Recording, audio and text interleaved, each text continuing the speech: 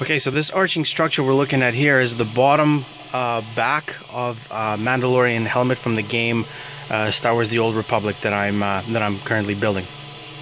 Now, I wanted to do a video about this particular section here because there's a lot of misconception about when you need to print uh, an object with uh, raft or support and when you don't.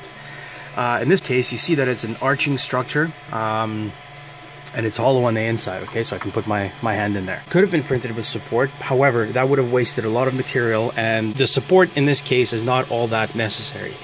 Yes you can see that there's some ugly uh, plastic thing happening over here okay? Uh, so basically that's an overhang that uh, when the printer gets to that spot it tries to deposit a layer of plastic.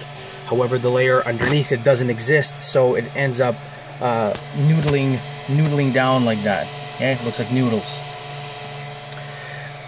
In this particular case, that's not a big deal because the section um, of the print here is fairly thick. So even if the first few layers end up getting like that, eventually it's going to build up a perfectly flat surface onto which it can start depo depositing subsequent layers. As you can see at the top here, the print at the top here is perfect. Okay, down here not so much, but up here it's perfect. And that's the most important part because this is the surface. The, the top surface is what's going to get smoothed and, uh, and ultimately molded. Now another thing I wanted to show you guys is uh, note this overhang here. Okay, that surface.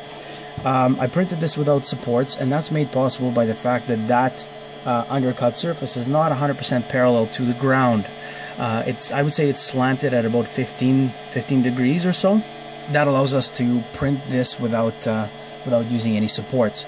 When the printer builds each layer uh, height-wise, each subsequent layer is built slightly wider uh, or slightly more extended to the left than the layer below it.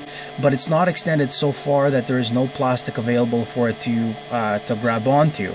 It's extended just enough to deposit the layer onto the edge of the layer below it. So, in other words, there is some plastic available for each subsequent layer um, to deposit onto as it's being built. So you can see that the surface here, it's not a hundred percent perfect.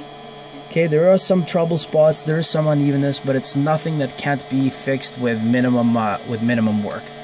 Uh, again, it's not as perfect as the ledge below here, okay, but it's uh, nowhere near as bad as something like this. That would require a lot of work to clean up. The other important thing to see here is that the detailing at the top, right there, that little circle, is done perfectly. And the reason for that as well uh, is because of the way this is positioned. Now I could have taken this object and flipped it like so, where this surface here would have come into contact with the build plate, okay? But that would have uh, given me some problems uh, towards the end of the build mainly at that overhang right there because that would have been perfectly uh, parallel to the ground or almost parallel to the ground which would have resulted in noodles.